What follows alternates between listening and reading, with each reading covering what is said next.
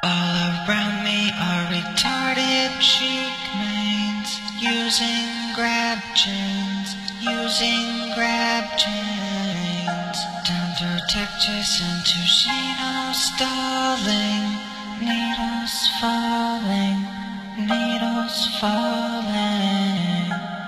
I tried to buffer shield rolls, but they didn't give me frames. I really straight because I don't have a brain. I find it so pathetic, I find it super sad.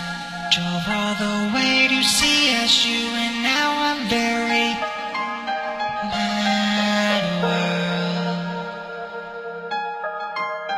Mad